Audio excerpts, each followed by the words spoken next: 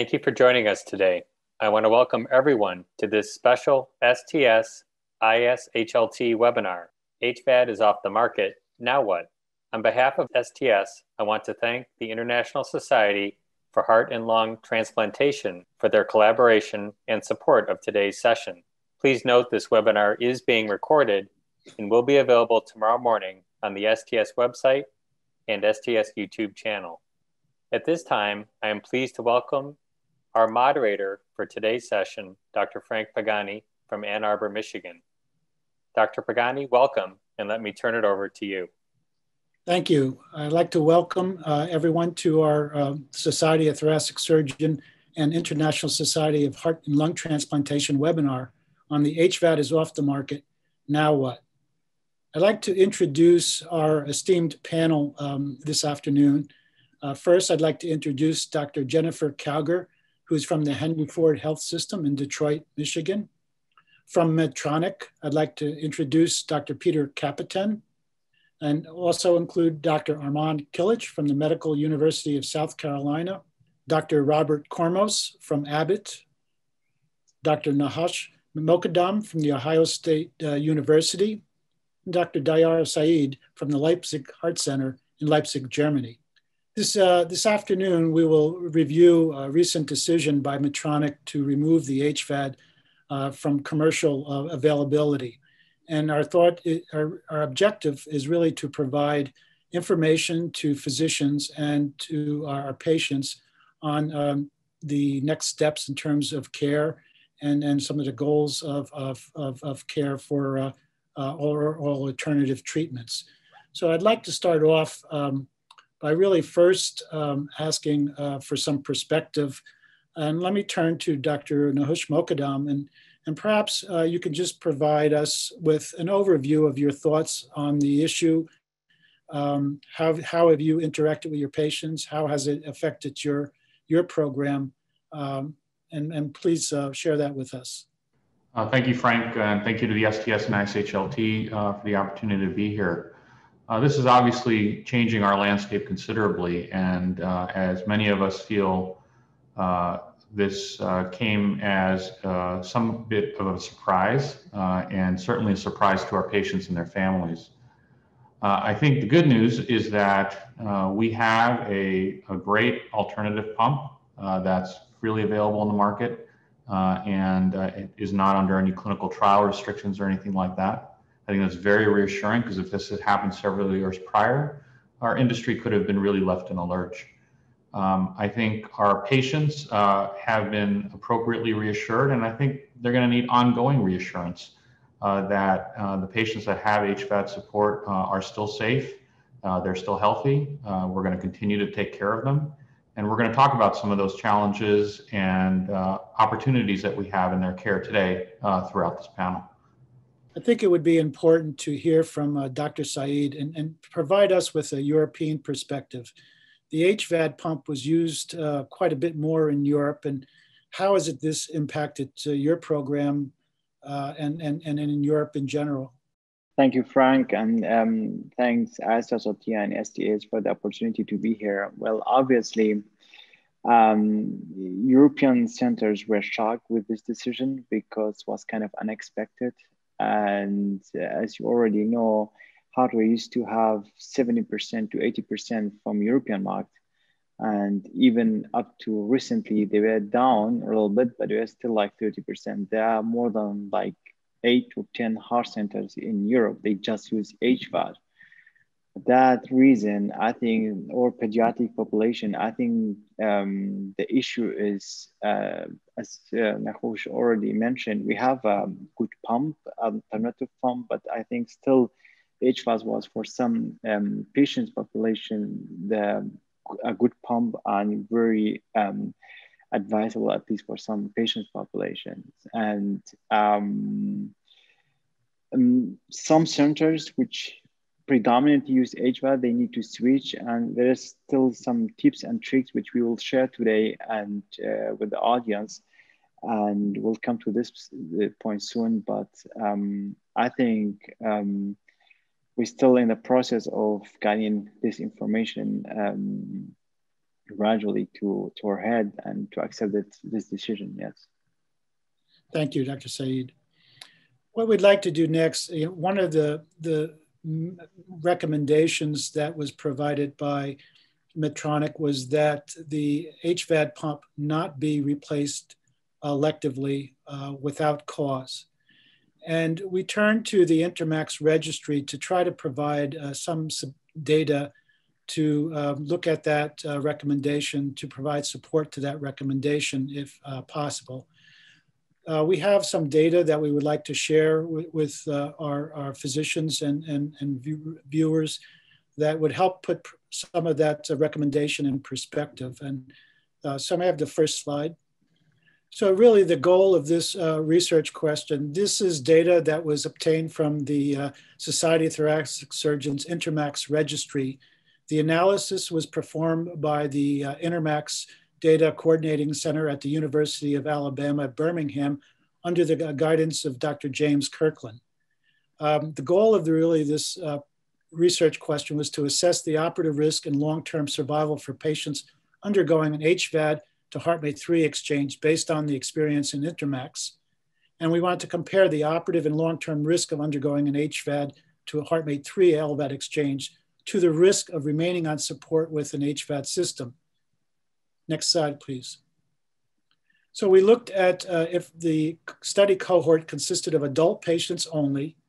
Uh, we looked at primary de novo implantations of the HVAD system and we also looked at additional cohorts of patients undergoing HVAD to HeartMate 3 exchange. And we excluded any other types of durable mechanical circulatory support. Next slide. What we did um, with, to match patients' cohorts, we looked at uh, all uh, HVAD primary implants from 2017 to 2021 to match the cohort in which um, HVAD to HeartMate 3s were exchanged exchange. So these are similar time cohorts. Uh, we do not go back further in terms of looking at outcomes for the HVAD prior to 2017. The median time on uh, support for all patients in the study cohort was uh, approximately one year. And for the median time on support with the second device was approximately 14 months for the heart, HVAD to HeartMate 3 and then eight months for the HVAD to HVAD. What you're looking at here in the red line is the observed Kaplan-Meier survival for patients undergoing a primary HVAD implantation. The blue line is the uh, predicted survival for that cohort using a parametric model. The black line represents the hazard function, so an initial early high hazard and a, and a remaining low or constant hazard uh, following uh, the initial three months. Next, we looked at the uh, survival for patients undergoing an HVAD to HeartMate 3 exchange. The, blue, the red line represents the actual observed survival. The blue line represents the parametric, parametric, parametric modeling survival. And the black line represents the hazard uh, with a high early hazard going uh, re, uh, dropping to a constant hazard. Longest follow-up in this cohort was 42 months if you place the, um, the expected survival with an HVAD is represented in the black line. So that is support on an HVAD device.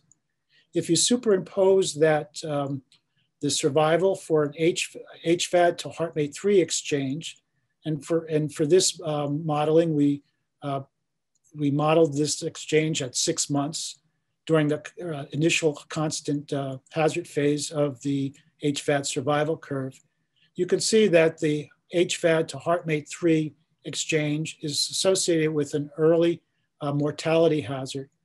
And, there's, and the dashed lines represent the 75% confidence interval.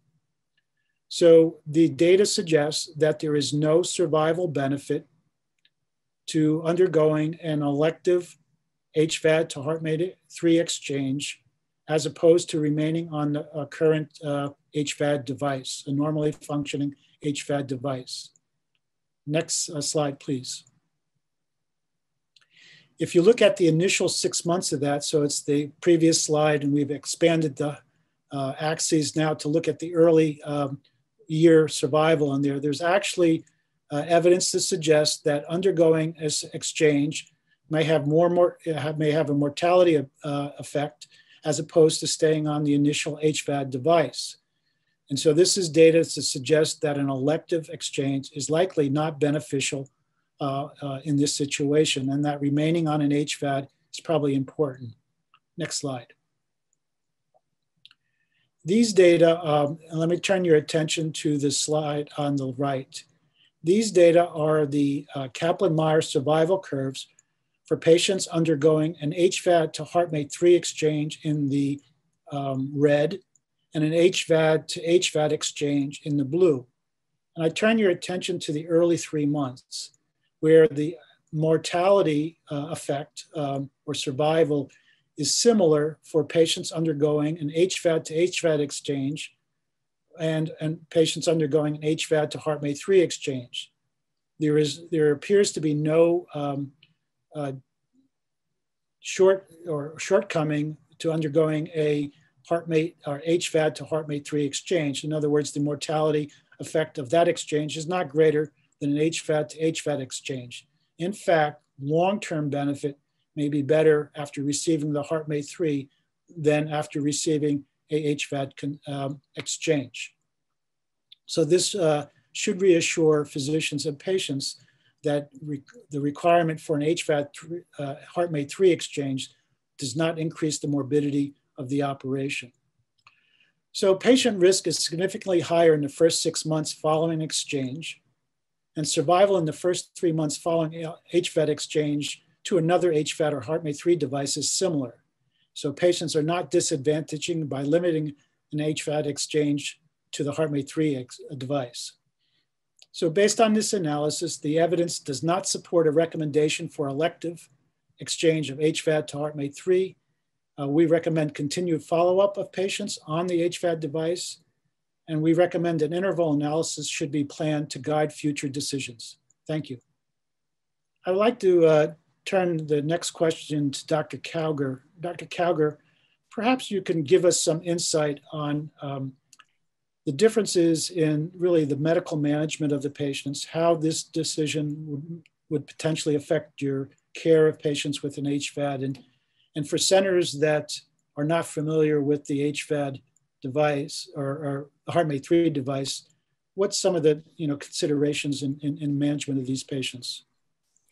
Yeah. Um, so, you know, the first um, aspect of the question is, you know, how do we monitor patients uh, currently on HVAD? And, and, many of us have patients that are doing fine, um, that have been on HVAD for many years.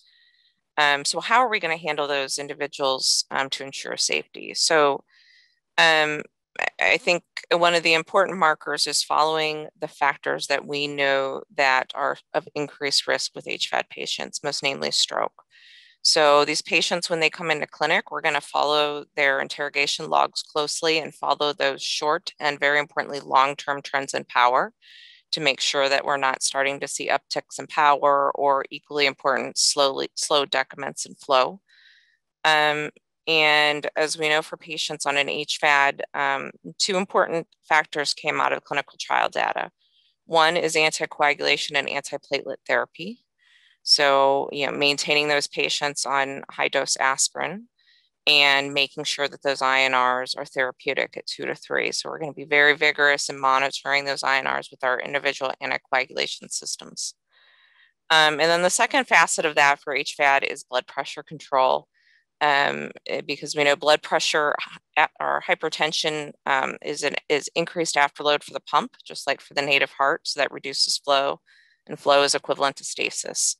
So we want to keep those mean arterial pressures close to 90 as possible to reduce the risk of stroke and pump thrombosis. Now, the caveat to this is as we extend this knowledge from HVAD, which has contributed a lot of wonderful knowledge to the community on how we manage our patients on an LVAD, we need to also simultaneously separate device management from the HeartMate 2, the HVAD, and the HeartMate 3. And I think that's really important for um, factors such as blood pressure control, um, how we're interpreting a blood pressure in clinic uh, for an HVAD patient and a HeartMate 3 patient that has a degree of intrinsic pulsatility can be very different. Um, you know, for most HVAD patients, their pulse pressures aren't high, so we can interpret that Doppler opening pressure as their mean arterial pressure and really aim for that value less than 90. But for the HeartMate 3 patient, that m- many of whom, not all, but many of whom have some degree of a pulse pressure, if we interpret every Doppler opening pressure as a map, we run the risk of inducing hypotension. And when, when we induce hypotension, especially in a patient who's volume deplete, we're going to have low flows, we're going to have dizziness, and we're going to have unwell patients. Um, so I think going forward as physicians, we need to think about the patient and that particular device and how we're managing that device rather than treating all continuous flow patients the same. What about in terms of how have you interacted with your patients and informed them of, of the decision and, and future uh, impact of this decision? Yeah, so in all patients at our center received a letter um, explaining um, the issues at hand. And then, very importantly, and I think uh, probably the most important, is that time in clinic uh, where the practitioner sits down with the patient and just has a face-to-face discussion about what does this mean um, you know we treat this no differently than any other device recall or device issue um, reassurance that uh, we're going to monitor them closely that we're going to do them justice and we're going to make sure that they're they're that we're doing everything we can to keep them well on device support. And i think even more importantly is that while complication rates have been shown to be higher with hvad mo- most of these patients are doing very very well. So if we just encourage them that um, you know those that are doing well will hopefully continue to do well and we'll support them through um, and try to keep that um, keep them going in a positive trajectory. Thank you. Thank you. Um, the next, I think, really important talk, topic we really um, want to uh, review is that of the actual technical aspects of uh, HVAD to HeartMate 3 exchange. Um, there are important considerations, and, and we'll, I'd like to have Dr. Kilic maybe comment on, on what are your, what, you know, what are some of the important aspects of that and and give us your thoughts on the subject. Sure. So I think um, just like any patient that's being considered for exchange, that preoperative imaging with a CT scan of the chest with contrast is very important to delineate the indication for exchange. In cases such as device infection uh, with mediastinitis, uh, I would recommend a sternotomy and explantation of all the device components. Um, and then in cases of uh, where the where the issue is limited to the pump itself, such as pump thrombosis, a thoracotomy approach is reasonable and very feasible in, in that uh, regard, including an HVAD to HeartMate 3 exchange. When discussing where to put the, the new sewing ring of the HeartMate 3, I think there's a few options. So one would be that when you explant uh, and you remove the sewing ring of the HVAD, you can go in through the same site. And essentially that turns into a cut and sew technique, basically, where you already have the ventriculotomy from the prior VAD. Um, and then you obviously want to inspect the left ventricular cavity and make sure you remove any pannus um, or any potential particulate matter in there so it doesn't embolize. And once it's cleaned out, then you can do your uh, sutures and, and, and uh, you know, seat the uh, sewing ring of the HeartMate 3 and implant the device. If it is done through a thoracotomy approach, you can absolutely do a, graft to graft anastomosis. Your, um, you know, once you're on cardiopulmonary bypass and you clamp your original outflow graft of the HVAD, um, you know, a question that comes up is there is a size mismatch. So the outflow graft of the HVAD is 10 millimeters and it's 14 millimeters for a HeartMate 3. But that can be very easily addressed with just appropriate spacing of sutures when you do an out, outflow graft to graft anastomosis. The other option is to actually um, take out the sewing ring of the HVAD, close that ventriculotomy site, and seat the uh, new sewing ring of the HeartMate 3 at a, at a different site a few centimeters away. And finally, there is a technique that's been described where the sewing ring of the HVAD is actually left in place and a rubber seal is placed around the inflow cannula of the HeartMate 3, and it's actually seated inside the sewing ring of the HVAD to prevent leakage of uh, blood from the left ventricular cavity. And I would say that's sort of experimental and only been done in a few cases, but that is another option that's probably going to be considered more often now that we may be doing more HVAD to HeartMate 3 um, exchanges. Uh, perhaps uh, Dr. Mokadam and Dr. Saeed, could you comment on your experiences with the exchange technique? As already mentioned from Arman, there is like these techniques. and the other possible technique is just to use the, to put the sewing ring of HeartMate 3 on the HVAD sewing ring. So this is also another additional technique that you put it on and you uh, have already a sewing ring and you put the other one on the top of it. And in that case, you can put the pump in. And again, there is two options as already mentioned, but I think there are some other um, differences at the implantation when you go for a less invasive technique, if you use a HeartMate 3 versus HVAD.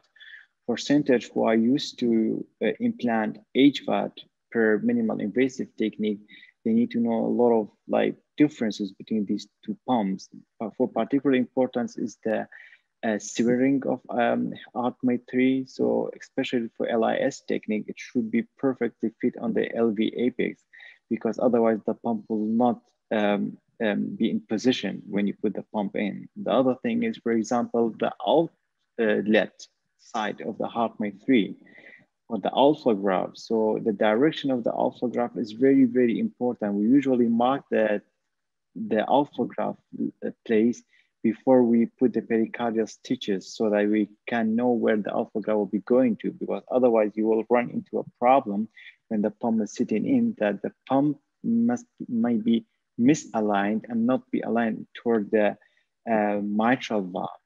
And the other thing is also for the less invasive implant of the heart machine, we usually don't put the bend relief on the pump unless we put the pump inside and we, at the end of the procedure, before we close the thoracotomy, we put the bend uh relief on.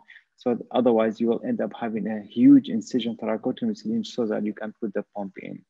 And um, that's uh, some tips when you go for a less invasive heart machine implantation. Um, a couple of other observations um, uh, for for those of, of, you on the on the call today that remember doing a HeartMate 2 uh, exchange to a HeartMate 3 or HVAD.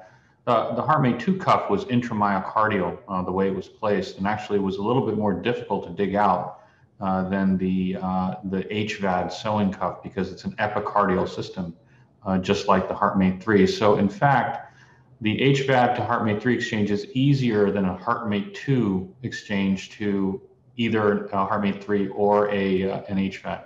Um, so I, I, think people will be uh, uh, pleasantly surprised when, when this becomes necessary. Um, also mentioned is that the, the HeartMate 3 is a larger pump than the HVAD. And that does come into play uh, in the minimally invasive approach. Typically, you do need a larger incision uh, just to fit the pump in. And as importantly, uh, because it's got that quick connect, uh, lining up the quick connect uh, can sometimes be challenging for those of you who have not done HeartMate 3 through a, a small incision before. Um, uh, but it can be done. Uh, typically, you need another centimeter or so of incision to accomplish it. it. It doesn't mean you have to double your incision if you go through a thoracotomy approach. Uh, I, I, completely agree with uh, Dr. Kilic that uh, a 14 millimeter or 10 millimeter graft is easily done. It will be more challenging though if you've left the entire HVAD bend relief in place at the time of your original implant, um, because that will all need to be dissected free prior to making an anastomosis. There is um, two points I'd like to just raise for more discussion. Um, you mentioned use, you know, sewing, uh, doing an end-to-end um, graft. So the HeartMate 3 is a 14 millimeter graft going to a 10 millimeter graft. Do you think um, in an optimal circumstance that uh, represent, could represent some outflow obstruction to the H HeartMate 3 and should the entire um, outflow uh, graft be replaced? And two, um, in terms of leaving the HVAD um, apical cuff um, and putting on a HeartMate 3 cuff, apical cuff over that, is there some misalignment or some uh, you know, potential concern with that technique? And should we you know, standardize the operation, you know, replace all of the uh, outflow graft and make sure that we're removing all the apical, um, con, you know, the apical connector and replacing it with the um, HeartMate 3 apical cuff. Uh, let me let me take on that first question, and I'll, and I'll leave uh, the second question, Dr. Saeed. Um, I'm, I'm glad that uh, Dr. Kormos is on the phone um, from from Abbott because I, I, would encourage Abbott to do HQ curves uh, with a, a, 14 to 10 millimeter uh, graft and see what they get because I think uh, we'll learn something from that because I think it's a relevant comment uh, honestly, we can obviously run 10 liters of flow through an HVAD, so I don't think the, the graft itself will be flow limiting, but I'm sure the pump will notice in some way. I, I guess I'd ask Dr. Kormos what he thinks. Well, um, I've heard a lot of variations on some themes here that I can tell you will generate probably some uh, guidance from us in the very near future about some of these points. I think standardizing the procedure has considerable merit. Nahush, I think you're very perceptive. Um, this this um, question of what happens to the HQ curve we've discussed with Kevin Bourque, there's no doubt that it will change the HQ properties of the HeartMate 3. So, um, you know, we haven't done that study. It's perhaps one that we should try in in uh, in the lab, but you know, for now, um, not knowing that, my first inclination would be to replace the whole graft. But again, we're in a learning phase here, so I, I can't be adamant, but that's that's kind of how I feel about that. Peter, maybe you could comment on on you know what what you believe is you know the approach for the exchange in terms of those two issues. Um, Yes, thank you very much, Frank. Um, so yeah, replacing the pump, of course, you know, leaving the HVAD ring on the left ventricular apex uh, seems um, it looks attractive uh, to decrease the the tissue damage that you can get if by removing it. But on the other hand, um, it may also create some more leakage around the ring if you put the HeartMate 3 ring on top of the HVAD ring. So if it's possible, yeah, if you can remove it um, I would say try to do that uh, and put a new H HeartMate 3 ring uh, on the apex. Similar for the outflow graft, the, the end-to-end anastomosis uh, looks very nice and favorable and can speed up the procedure, uh, especially when you have done a left thoracotomy instead of a sternotomy. Um, but again, you know, you have this um, this difference in in uh, diameter, which may cause an issue with the HeartMate 3 pump. But as Bob just mentioned, you know, that's something they have to find out you know, what kind of effect it will have. And we understand that the the procedure will be more extensive than exchanging an HVAD for an HVAD. I, I, I, I'd also like to, you know, things happen ironically sometimes. And we just received a report of um, a pump exchange that was done using, you know, a rubber glove tip around the inflow cannula and uh, six months later, there was a fairly large pseudoaneurysm that developed yeah. uh, that ruptured. And so I, again, I would probably stay away from that technique, not knowing how well that seats. Yeah. Well, I, I think I can add also something. First of all, as we all know, these patients are really sick patients. The, uh, the most important thing is we have to make sure that patients who are staying home safe with uh, HVAD as Dr. Pagani already mentioned, there is no reason to bring to bring him back to the hospital doing an exchange. The pump is running well, it's pretty well. And the other thing is, um, um, considering different techniques, I really appreciate that if there is any way of standardizing the technique because there is different ways of doing it. I personally think the less we do for this patient, the better they are.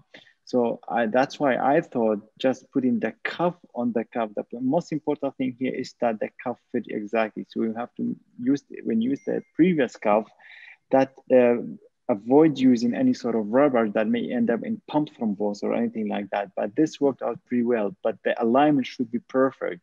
So there should be no irregularities in the cuff of or the sewing ring of the HeartMate 3 when you put it on the LV or the new sewing ring so that the pump will fit in. And I used that like four or five times without any issues. So I can encourage using that technique. I'll bring up another uh, technical uh, situation. Um, what about um, the use of the HeartMate 3 in adults with small body sizes? And, and you know, what are the you know, implications for primary implant? You know, how small can we you know, comfortably go in, in an adult patient with small body size? And then what are the implications in, a, in an exchange in a patient with a small body size? Yeah, I mean, I think that, um, you know, for the momentum trial, I believe the, the cutoff for BSA was 1.2. I mean, I know we've done a few that are not quite as low as 1.2, but less than 1.5. I think in patients that have a, a, small chest cavity, there's a couple technical tips. Um, one, and this would be whether they're small BSA or not, is, is uh, taking down the pericardium um, down to the level or just above the phrenic nerve. Um, I do routinely get into the left pleural space and try to seat the pump into the left costophrenic gutter. Sometimes I've noticed that, um, particularly if they're small BSA patients, that when you close the chest, there can be a dynamic change in that inflow cannula and it can start shifting towards the septum. And so some folks, including myself, have described tacking the, the pump to the uh, chest wall. And I think that could be done one of two ways. Um, one option would be to place your uh, suture, um, you know, endothoracic inside the chest cavity and try to get it around the pump and then tie it down to seat it and secure it to the chest wall. The other option would be to make a counter incision in the left uh, uh, uh costal region, subcostal region, and actually pass a suture through that counter incision, put it around the pump, like where the bend relief is or right where the outflow cannula is coming out, and then tie that through the counter incision and close. And that can sometimes help shift the pump up and align the inflow cannula better with the uh, ventricular septum as well, um, and particularly sort of fixate it to that chest wall so that there's less of a dynamic change with closure. Frank, I, I think we, we get into more trouble with small ventricles than we do with small people. Um, and, and I think, um, you know, we, we've been fairly uh, successful, uh, all programs have, and even fitting HeartMate 2s into small BSA people.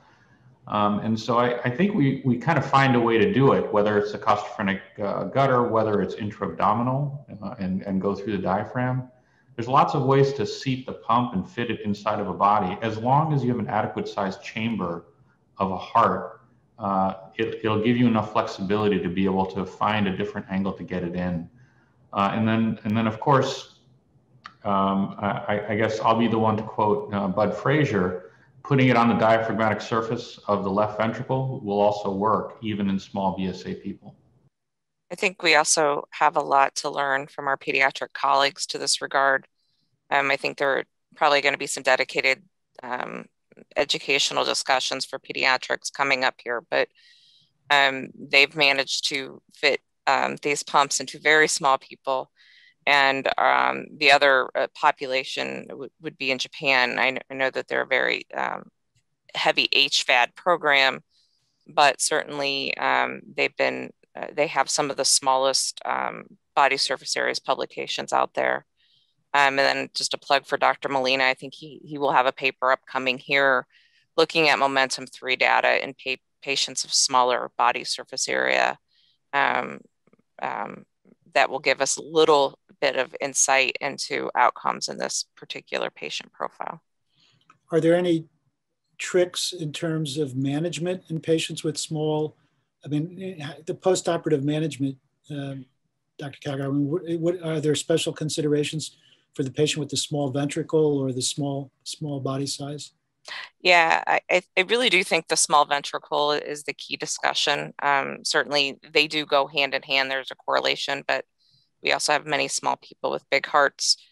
Um, there have been some analyses uh, by Dr. Nayak, who I think is still down at Emory, looking at um, outcomes eh, um, according to BSA, uh, which the large proportion of those were women and the increased risk of RV dysfunction, um, with the hypothesis that a lot of it has to do with the ventricular interdependence pulling of that septum um, uh, of affecting how the, the, longitudinal contraction of the right ventricle um, performs.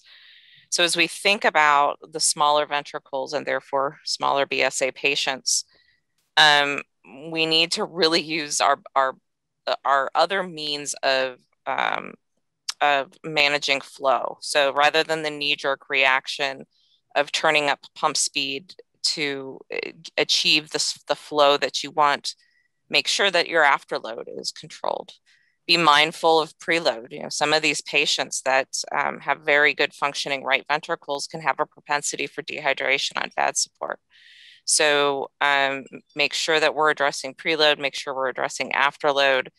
And I, I do, being a non-surgeon with a big asterisk there, um, I do think inflow position is, is really important so that we're not pulling on that septum. Um, not only is it not good for the right ventricle, both short and long term, um, but because you can, you know, have occlusion of the inflow um, um, from any wall, including the septum, um, and that can make long term management challenging.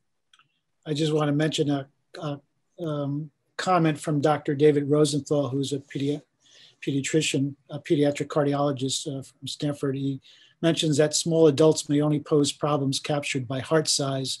Smaller children pose problems related to thoracic size as well as flow rates needed. And, and that's obviously important, um, important differentiation between small adults and, and children. Um, the other question, um, and there's another comment from the audience, or, uh, audience that I want to get to, but um, what, um, Dr. Carver, what about um, the issue of heart transplantation in, in some of these patients on, and, and please others comment, uh, heart transplantation on, um, for patients on an HVAD? Is there any way of prioritizing? What is the current field doing, you know, looking into that issue? Yeah. So, um, you know, as, as best as I know, um, right now, um, you know, UNOS does offer uh, the UNOS um, complication um, criteria, UNOS 2 and UNOS 3 for the various complications. And I think that patients that are having those high risk complications, such as, you know, the pump failure to restart, um, are that's going to be your avenue for getting that patient transplanted quickly do I know at this time of any um, intent to expedite um, a listed HVAD patient? I don't. I know that um, UNOS is is looking at the waitlist very closely and they're monitoring outcomes. And my um, understanding with just a brief discussion with Dr. Hall today is that they're they're staying on top of that very very closely um, but we'll just continue to rely on our current um, allocation system at this time. I can talk about the um, yes. European perspective on that. Um, so back in January, when this first issue started with the pump restarting, when you exchange the controller, at that time there were a lot of discussion in Germany about putting these patients. So we identified the serial numbers and we end up finding around 12 to 14 patients who were affected and they were bridge to transplant patients. So, and the decision at that time was made that selected patients could be tried to be put on the high urgency list. So we end up in Leipzig putting from all of, we had like three patients and one of them, we end up putting him on the high urgent list and transplanting this patient. But at this point, there is no kind of uh, prioritization for this patient. And I talked today to UK colleagues. I was talking to Stephan Schueler and also UK transplant, they will not prioritize these patients. So that being said, based on the fact that these patients are running well and staying home, there is no reason to bring them to the hospital and transplant them as soon as possible.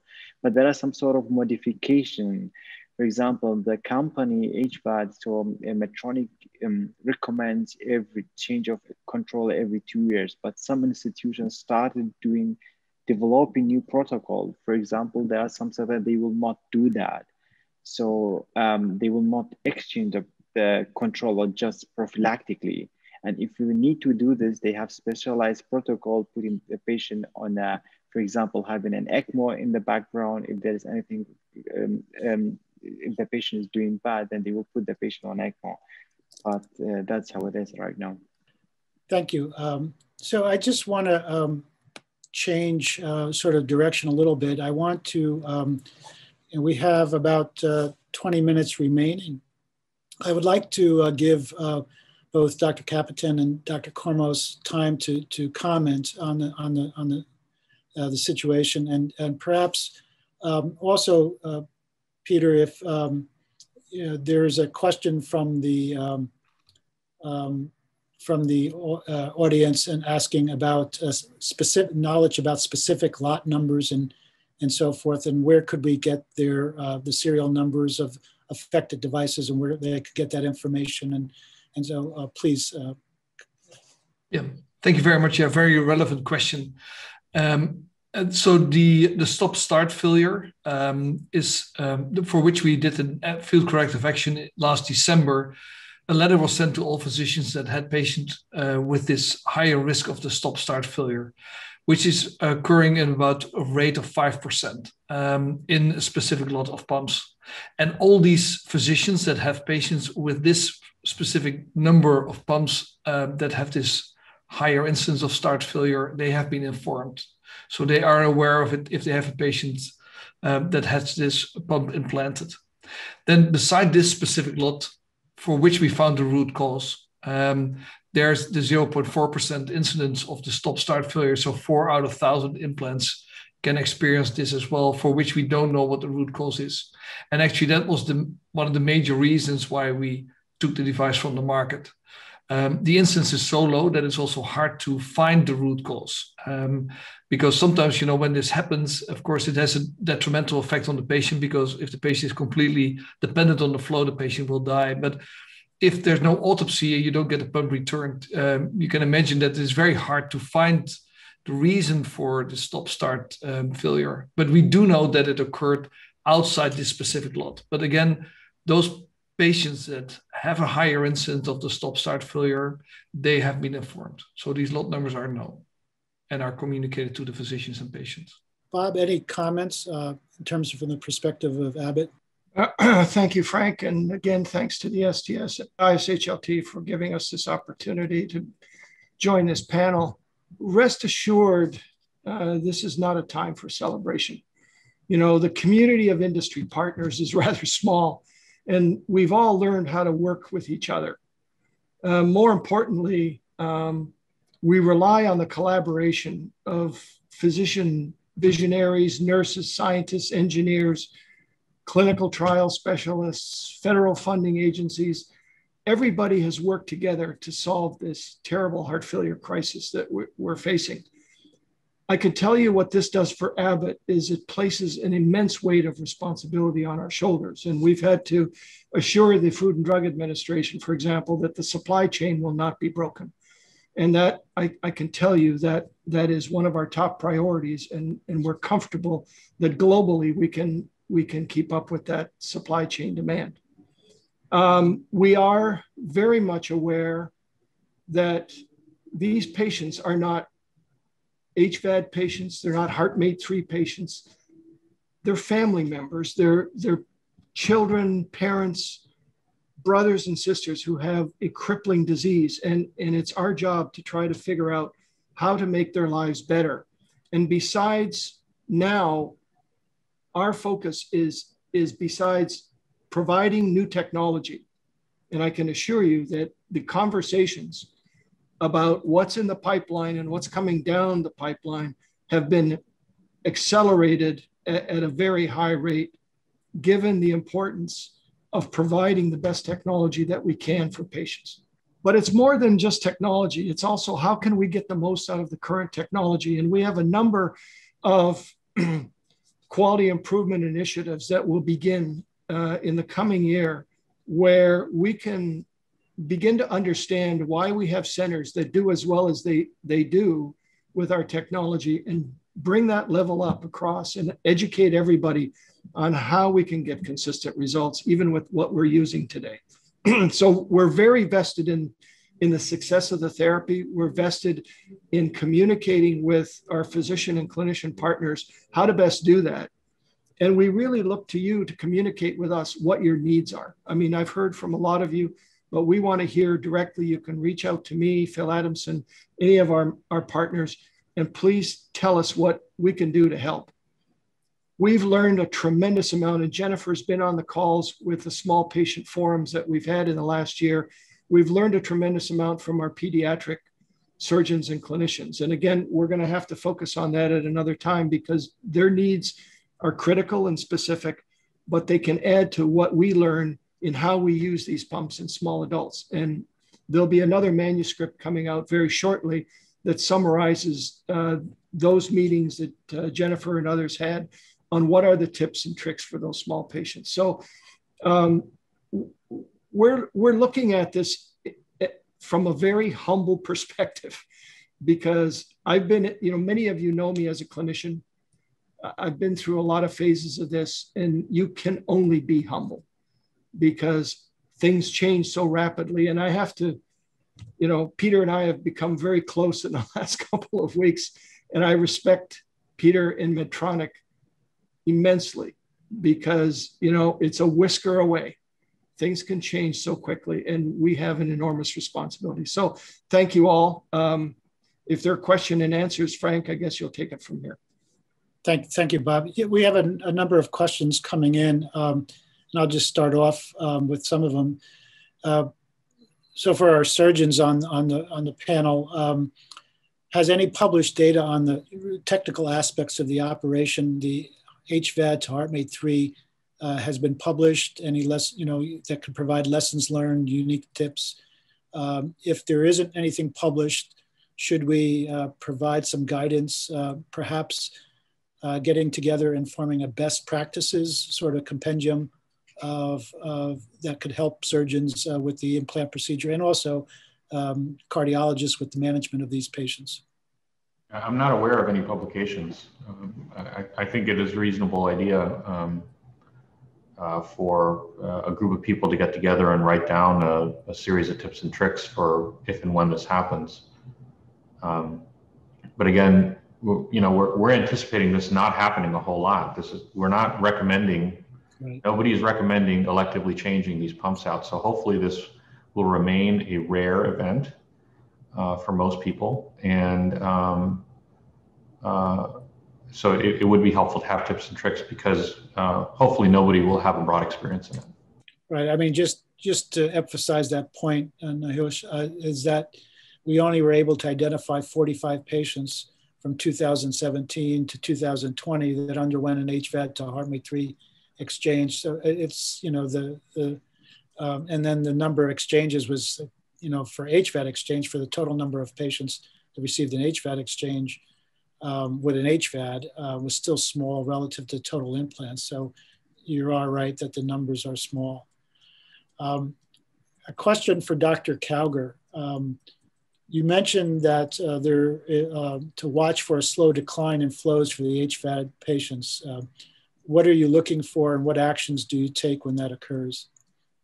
Yeah, so um, you know there, there there are two ways that you can have pump flow changes. One is acute, whether it's ingestion of thrombus um, either within the inflow or within the pump, um, and that's usually pretty dramatic, right? Patients are sick, um, sudden change in symptoms, um, usually associated with alarms, high watts, because clot is it when clot is on the rotor, that's friction.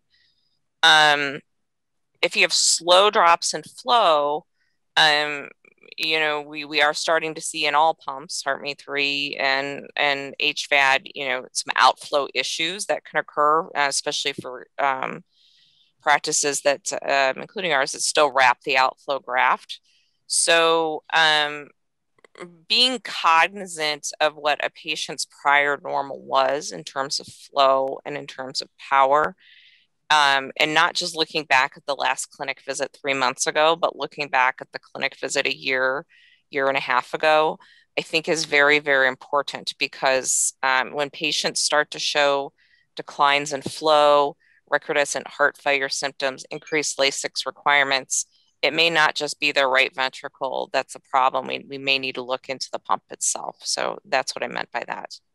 Thank you. Um, just some comments from our uh, audience. Uh, Professor Potapov has mentioned that Dr. Schmitto has published, uh, from Hanover, has published information on exchange in 2018.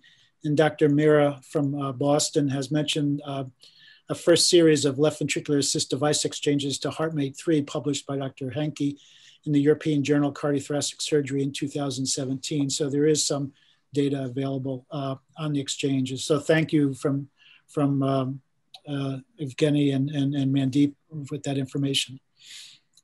So I think we're coming close to the um, to the hour. I, would like to just uh, end this by uh, maybe getting some final thoughts from the panel, uh, in, including uh, Bob and, and, and Pieter. Uh, uh, I'll let Pieter go first. if, if there's any particular issues we missed or addressed or just things that you want to want to want to mention. Yeah, thank you, Frank, and and yeah, I think you know for this uh, this webinar because it's so important. You know, with Medtronic, we realized that the impact for patients is the, the greatest, and then also for physicians that have to communicate this to patients uh, we realize that you know when you write this dear doctor letter that you inform physicians but the hardest conversation of course is when physicians have to talk with their patients so what we want to stress is that we want to do everything that we can to still support those patients who are on an HVAD. And it's about more than 4,000 currently worldwide, uh, about 50% in the US and about 50% in, in outside the US. And so we will provide peripherals, etc., as long as we can um, as long as needed, I will say. Um, and, and, we realize that could be eight, nine years from now that there are still patients out there that are on HVAD, and we want to provide all the support that we can.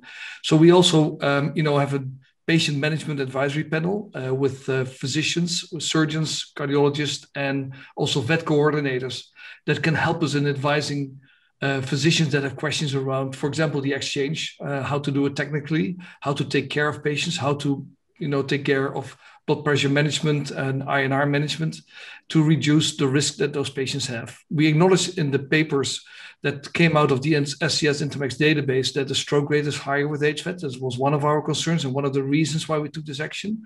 And we want to reduce that risk of stroke as much as we can. And so, um, yeah, be assured that uh, we really love to get all the advice that we can to uh, manage patients as, as best as, as we can. We, we, we acknowledge the impact, and I'm also grateful to Bob Kormos, which one of was one of the first uh, that we informed about this, this, issue because we wanted also wanted to make sure that there's enough pumps available uh, from Abbott that uh, can fill the gap here. Uh, the other thing what we did is we reached out to uh, Berlin Heart because we also acknowledged that in the small pediatric population, the HVAD was popular because of the size. And uh, we also, um, you know, recognize the fact that uh, that had major advantage in, in, that population. So we have a separate patient management advisory board uh, panel for the pediatric population, and I'm also looking forward to a webinar maybe around this this particular topic as well. So um, yeah, that's that's again. Thanks very much for for this opportunity, uh, Frank. And uh, and oh, the other last point that I want to make is also congratulate uh, the Intermacs and Euromacs uh, database committees for I think the groundbreaking work that they have done by putting together a database. When there's when there's no randomized study comparing one device versus the other one, it points to the fact how important these data collections are. And the STS is you know um, was the one who started with data collection, real world data. And it points uh, to um, in the direction where you think twice: Is this still a device that can um, can that we can put safely on the market? And and so therefore, it's important data that we got out of these databases. So thank you very much for these efforts. Thank you, Pieter. Uh, Bob, any concluding comments? The only thing the only thing I want to say is one of our biggest challenges is the community physician we, we recently did a survey, and their impression of LVAD therapy for heart failure is still back in the XVE days. They truly believe that, that survivorship is low, that stroke rates are 20%, and pump thrombosis rates are 20 to 25%.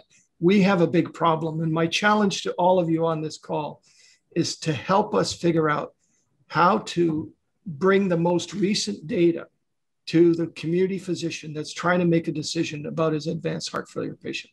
But again, thank you, Frank. And I, I also want to thank Intermacs and STS for providing the data that you did. That was extremely helpful on the pump exchanges. And thank you all for attending. Thank you. Uh, any comments from our, our, panelists? Well, I'd like to uh, thank our audience for taking the time, uh, and I really like to extend uh, our thank you to the our panelists today for taking the time and, and really providing some great insight and, and to Bob and Pieter, you know, uh, taking the time to, you know, provide reassurance to our, our into our community and, and our patients. So um, I, if there's any follow-up questions, you're more than happy to contact any, any one of us. Uh, and uh, at this point, we'll conclude our, our, our webinar. Thank you very much. Thank you very much. Thank you, Dr. Pagani, and thank you to all of our panelists today for your participation and insight. We invite you to become a member of STS if you're not one already.